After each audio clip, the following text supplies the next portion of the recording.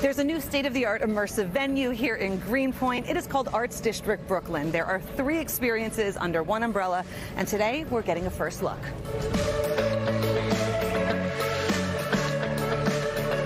I have officially never done an interview in a setting like this. Here we are. Hi, David. Hi. We've got a lot to talk about this space, but first, let's start with Arts District Brooklyn as a whole.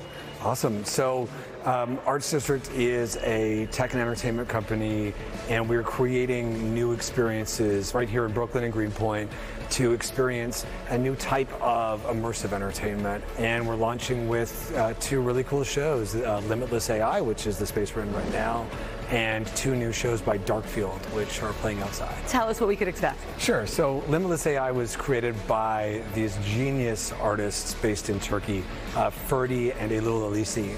And they created uh, this show with this proprietary AI technology that they have. So what they do is they take huge amounts of data and they feed the data into the AI and between them and the AI they create original artwork. So what happened was they took all of the paintings by Da Vinci and some of the other grand masters of the Italian Renaissance and they taught the AI to paint like Da Vinci.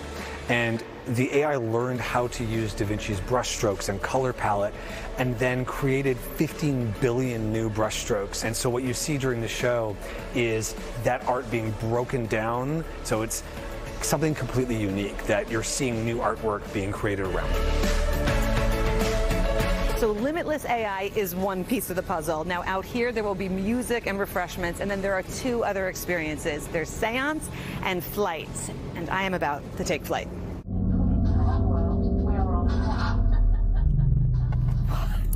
To pop your bags in here. This is wild. All of the shows that we make, that Darkfield make, are in shipping containers and they're all in total darkness. You imagine lots of things are going on around you and maybe some of those things are going on, maybe they're not, and you're never quite sure. I feel like my body is like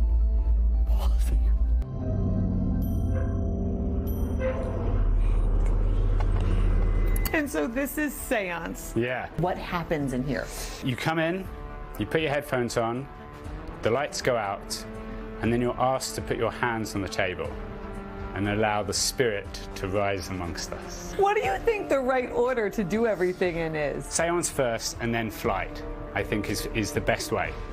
And then if you're up for it, finish it off with a little limitless AI. Exactly. And call it a night. That's like that's a that's a pretty good night. It's, it's pretty stacked night. night. Yeah. yeah. that's great. Thank you so much.